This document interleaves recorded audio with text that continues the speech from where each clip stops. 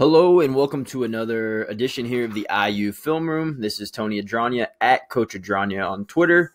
Uh, this time diving into the IU Princeton game on Wednesday evening. Uh, overall, a 25 point win for IU over a team that's going to compete for their league championship. Um, it's hard to be disappointed in that, uh, although the first half was disappointing. Uh, I put this on Twitter. Um, IU they got a little stagnant on the offensive end uh, uh, in the first half, but really uh, their struggle was defensively. They let Princeton dictate the pace. Princeton milked a lot of time on the shot clock and then converted late in the shot clock, limiting IU's possessions, limiting IU's uh, transition game. Um, so really, I thought the defense was the issue in the first half more so than offense. Um, and then IU came out and basically just completely controlled the second half uh, won it by 22 or 23 points. Um, so, what I'm diving into today is some of the defensive woes, which it turns out is mainly on ball defensive mistakes, uh, how IU cleaned that up. I'm going to look at Joey Brunk and the excellent performance he had defensively against a guy that was averaging 17 points per game uh, for Princeton. Uh, then we look at some of the baseline out of bounds stuff, uh, a couple sets IU ran. And yeah, so without further ado, we'll dive into it.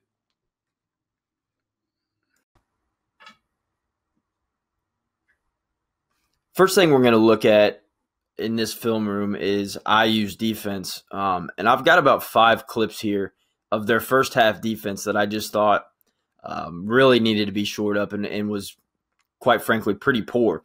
Um, in some of these clips, IU gave up threes, but those three pointers were given up because the on ball defense was terrible. Somebody had to overhelp, they overextend, and then there was a kick out for a wide open three.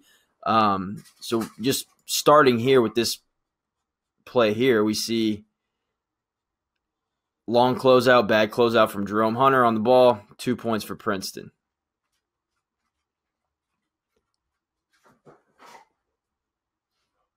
So this is multiple long closeouts. We see here drive. Now Justin Smith has to help. He's got a long closeout. Now Jerome Hunter has to help. Way too long of a closeout. Leave a D1 shooter wide open. Not going to be good. Another time, we see Damezi has to help. Now he's got a long closeout. He doesn't close out under control. It turns into an and one. Right here, Trace pretty much sets a screen on Al Durham here because he doesn't hedge hard enough. He doesn't allow Al Durham to go underneath his hedge and get back in front of the ball handler. So now the ball handler is going to have a straight line drive to the rim because Trace kind of got in Durham's way, almost set a screen on him. Guy gets a layup. And then the last one here in the second half is Green, just a little casual. This guy is basically able to do whatever he wants. Trace kind of sets a screen again on Green, layup. So that's five different clips there in the first half that Princeton really didn't have any resistance getting to the rim. IU had to overhelp, and that overhelping allowed Princeton to either A, get a three point shot or attack a hard closeout and get to the rim. Uh, not a great defensive performance from IU in the first half absolutely no doubt in my mind that Archie Miller went into halftime um, pretty ticked at, the Hoosiers defensive effort, especially. Um, and I don't blame him, as you just saw, uh, way too many straight line drives, guys not closing out under control, and ultimately it just turns into kind of an effort thing. And I know that Archie harps on that. He's talked about how the Hoosiers weren't haven't been as good defensively as he'd hoped. Uh, well, the second half they completely turned the tide. Um, they they got down, they guarded, and it allowed them to extend their lead to over 20 points, um, whereas it was what, two or three at halftime. Um, and so basically what it was, it, like I said, it came down to effort. But as we can see in these couple clips here, these are just IU playing defense in the second half. Guys are down in a stance, they're guarding, they're moving. Look at everybody's in a stance here. Everybody's working together as one. Trace is ready to hedge this ball screen. Al Durham's down in his stance. And you see Durham here. He doesn't allow him to reject, keeps the guy in front of him. You can tell he's just being gritty. He's he's down in his stance. He's ready to guard. Race does a nice job guarding the post, gets a steal. Another clip here. Phinisee's down in his stance. He's guarding. Brunk with a nice hedge. Allows Phinisee to get back. Now notice Phinisee keeps his man in front of him. This was a bigger big difference from the first half. Phinisee keeps his man in front of him. So what does that do? That allows Justin Smith not to overcommit to the ball handler. And so that Justin Smith, I mean, he's at the arc on the catch. Now, if this guy's going to shoot a 30 footer with any sort of consistency, then yeah, maybe you have a little bit more help there. But Justin Smith's exactly where he needs to be on the catch. And ultimately, he's allowed, to, he was able to close out on this guy, takes a tough shot. IU gets a defensive rebound. So, those are just a couple clips to show you the difference from the second half effort to the first half, from the first half effort. And at the end of the day, it's really what propelled IU to victory. So last night, I thought Joey Brunk's defense uh, was phenomenal. Uh, Princeton had a big, averaging 17 and 8 or something around there. Uh, I call him number 34 because his last name was tough. Um, but what I really liked about Joey Brunk's defense was that he did his work early. And by doing his work early, I mean this guy wants to catch the ball in the block and he wants to make a move quickly. So he wants to catch it right here on this block. Well, what Joey Brunk is doing is basically he's creating an armbar in that guy's back and keeping his feet moving and pushing him off that block with the denial hand on his top shoulder. Now he keeps he creates that armbar. It, it's a subtle movement, but he's putting all his weight on that guy and just making him move off that block. So it's not a foul. Refs aren't going to call it very often as long as you keep that arm straight and keep your feet moving. So, like I said, this guy wants to catch it on the block. Well, look where Joey forces him to catch this. He wants it here he's way out here. Now he's not comfortable with the ball out here. IU's got good defenders kind of reaching in there, putting their hands in the cookie jar. And what happens is it's a turnover. So Joey Brunk did a really nice job of forcing off that block. But that was a trend all night. As soon as this guy's on the ball side, look at Brunk. He creates contact and he immediately starts pushing. He's pushing him off that block. Again, he wants to catch it here. Look where he ultimately ends up catching this basketball he's not comfortable with it there. He, he's not sure what to do with it here. Within this play, he ends up uh, throwing it out to one of his teammates. Another time here in the second half, Joey sees he's on the ball side. What does he start doing? He starts pushing. So look where he ends up catching it. Again, he wants to catch it here. He's got to catch it five feet from here. He's not comfortable with it there. He doesn't want to put the ball on the floor a lot. It's not like he's got a bunch of dribble moves that he's going to go blow by Brunk with. So what does he do? He's frustrated now. He settles, shoots his tough shot that's not really in his wheelhouse. IU gets the rebound. So really, really impressed with Joey Brunk's defense last night. And I thought he kind of set the tone as the man in the middle for the Hoosiers um, and just probably played his best game as a Hoosier so far. So if you've watched any of my film rooms before, you know that I love diving into IU's baseline out of bounds plays. Um, they all start in this 1 4 low set. This was actually the second baseline out of bounds play IU ran uh, of the day, but I'm going to show you this one first because this is the one that Princeton probably had scouted. It basically is uh, Justin Smith's going to pop up. Jerome Hunter is going to set a screen for him, and then Jerome Hunter is going to receive a screen from Race Thompson to the corner. It's a screen to screener action. Uh, pretty basic play, but IU runs it. Um, so, like I said, Princeton's probably got this one scouted. IU's ran it a few times this season. They switch everything here. They know what's coming. Race kind of slips it. IU doesn't get really much out of it uh, which is surprising because they've gotten a ton out of their baseline out of bounds plays so far this season. This, though, was the first play they ran uh, of the game baseline out of bounds, coming right out of a timeout. It's going to start with this exact same action. It's Race Thompson pops. Devonte Green sets a screen for Race Thompson to dive here. So Princeton probably thinks, okay, this is the play we've got scouted. It's screen the screener. Trace is going to go set a screen for Devonte Green, and he's going to the corner.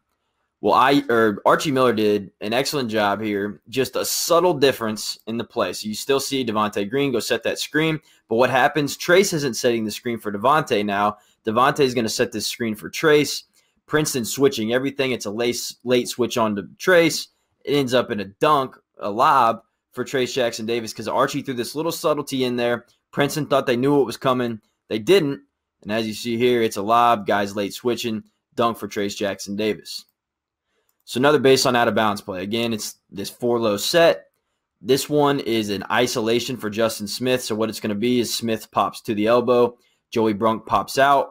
Ball's thrown to Joey. Then it's thrown to Smith on the elbow. Everybody else clears to the right side with Devonte Green in the corner. And Justin Smith's got a one on one trying to rip and get to his left hand as quick as he can. So we'll see it here. But there's one thing I really want you to watch on this play. So Justin Smith catches, he rips. So Justin Smith is about to go up for his shot right here. Actually, let's rewind it just a tad.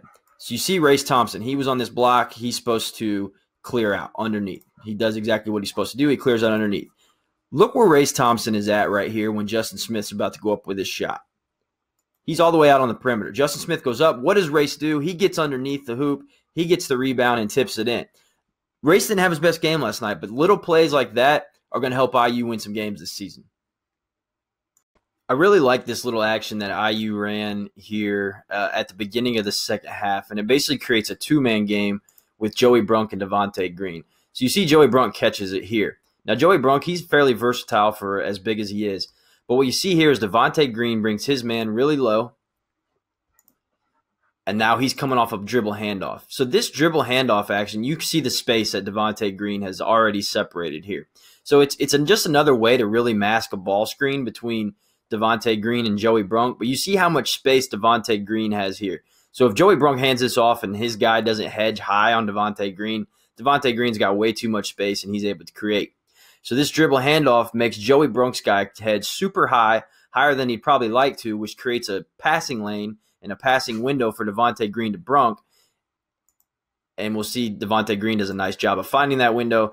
Brunk probably mad at himself for not finishing that one. But still, we see a dribble handoff here. Guy has to hedge high, creates a window for Brunk. He gets two shots. Something that I've really loved to see from IU is that anytime a team's gone zone against them so far this season, they've been able to absolutely slice and dice it. And that was the exact same case for Princeton last night. So Princeton's in a little matchup zone here. I like what IU does. They overload a side, so they're acting like they're coming back right. This is going to be a dribble handoff for Al Durham. And Trace is going to end up actually screening this outside guy at the zone.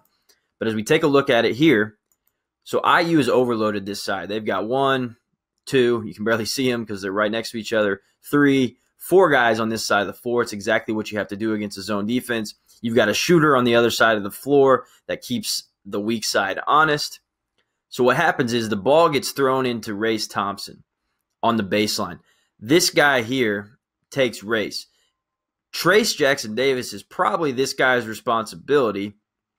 He turns his head. He has no idea where Trace Jackson Davis is even at. He's ball watching. Trace makes a nice cut. This guy sees it too late and even if he stepped in the middle there, then you've got Devonte Green wide open in the, uh, on the wing here. But really, it just IU slices and dices his zone, gets the ball in the short corner. Guy in the middle dives, nice pass, dunk. I want to show you this clip because it was something I noticed during the game, and it just shows that Archie's serious when he talks about attention to detail on the defensive end. Um, he's not playing around, and this clip pretty much proves it. So, 8:32 left. We've got Jerome Hunters checking in the game. All right. Checks in, 832, matches up. So we see this play right here. This guy goes up. Watch Jerome Hunter here. Doesn't box out. Just kind of thinks he can get with his athleticism. Way too late. Now he's kind of lollygagging around. Now he's like, oh crap, I got to help this guy. What does he do? He helps late. He fouls. Actually ended up being on Trace Jackson Davis, but um, one could argue that was Jerome Hunter's fault. 657 left in the second half. Archie pulled him here. So he checked in at 832. Within about a minute and a half, he made a couple mistakes in the defensive end with boxing out, bad help, and a foul. And what does that do? He gets pulled. So Archie is dead serious when he talks about attention to detail in the defensive end, and he's not afraid to yank guys.